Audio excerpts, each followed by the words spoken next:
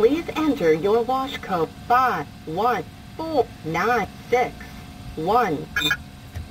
The wash is available. Please enter wash now.